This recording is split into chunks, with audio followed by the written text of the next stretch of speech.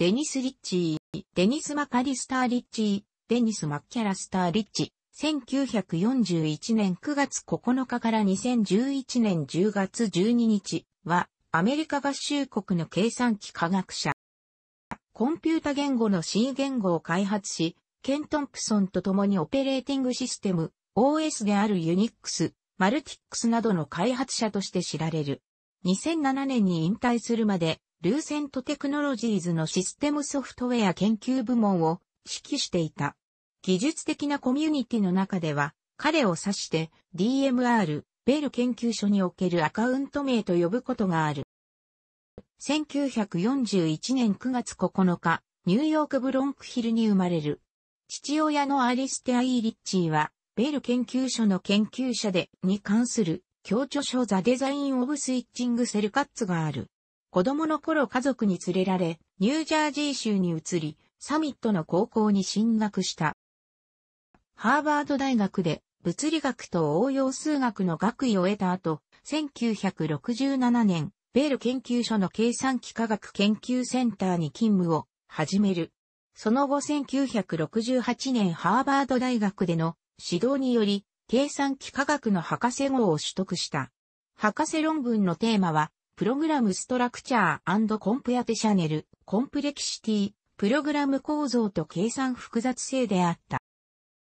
1969年頃、リッチーは、ケン・トンプソンと共に、ベル研究所で、放置の状態にあった PDP-7 上で、独自のオペレーティングシステムを作り始める。これが後に、ユニックスと呼ばれる OS の原型となった。ユニックスは1971年に原型が出来上がり、同年 PDP-11、22移植した。1973年、それまでアセンブリ言語で書かれていたユニックスを高水準言語で書き換える。この時、ユニックスの記述言語として、ブライアン・カーニハンと共に C 言語の開発に関わった。C 言語の原型は、ケントンプソンの B 言語である。リッチーがこれにデータ型と新しい文法を追加し、C 言語が出来上がった。この頃のユニックスは文書マシンとして使われており、主にベル研究所の特許事務に用いられていた。リッチーのユニックスへの最大の貢献は、高水準言語で書き換えることで移植性を大いに高めた点である。1983年、ユニックス開発の功績により、ケントンプソンと共にチューリング賞を受賞している。21世紀初頭現在でさえ C 言語は組み込みシステムからスーパーコンピュータまであらゆるタイプのプットフォーム上で用いられており、彼の業績は非常に大きい。晩年は引き続きベル研究所にて1995年に発表されたオープンソース版の分散システム用オペレーティングシステムであるプラン9や1996年に公表された分散システム用オペレーティングシステムのインフェルノとその言語リンボの開発に携わった。1983年、ケントンプソンと共にチューリング賞を受賞。受賞理由は、汎用オペレーティングシステム理論の発展への貢献、特に Unix オペレーティングシステムの実装への貢献に対して英文、for their development of generic operating systems theory specifically for the, implementation of the Unix operating system。リッチーの受賞講演の演題は、 Reflections, on Software Research。1990年、ケントンプソンと共に、IEEE より、IEEE ハミングメダルを受賞。受賞理由は、ユニックスオペレーティングシステムと CE 言語の開発、英文、フォーザオリギナチオン。Of the Unix Operating System and the C Programming Language 1997年、トンプソンと共にコンピュータ歴史博物館フェローに選ばれた。選定理由は、Unix オペレーティングシステムの共同開発と C 言語の開発を称えて、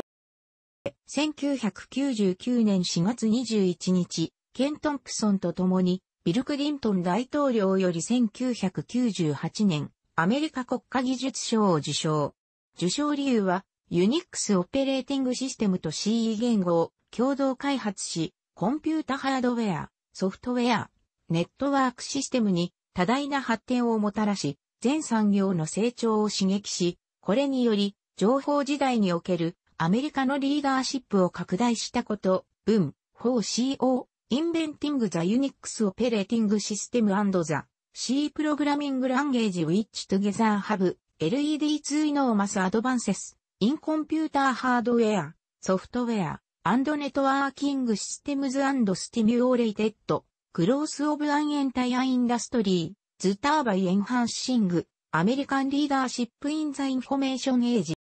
2005年が UNIX 開発による科学技術及び社会への貢献を称えてを授与した。2011年ケントンプソンと共に日本国際賞を受賞。受賞理由は、 UNIX オペレーティングシステムの開発、英文、for the pioneering work in the development of Unix operating system。2011年10月12日、一人住まいのニュージャージー州バークレーハイツの自宅で亡くなっているのが発見された。死去の第一報は以前の同僚であり、現在は Google に勤務するロブ・パイクによって Google 上で発表された。彼は長い闘病、前立腺がんと心血管疾患の末に亡くなったという。その死はスティーブ・ジョブズの訃報の約一週間後だったが、ジョブズほど大きく報道されることはなかった。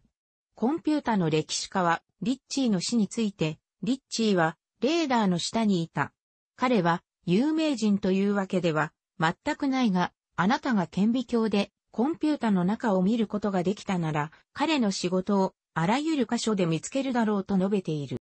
リッチーの死後間もなく、行われたインタビューで、長年の同僚だったブライアン・カーニハンは、リッチーは C 言語がこれほど重要なものになるとは全く思っていなかったと述べている。カーニハンは C と Unix が iPhone などの構成の重要プロジェクトでいかに大きな役割を果たしたかを述べている。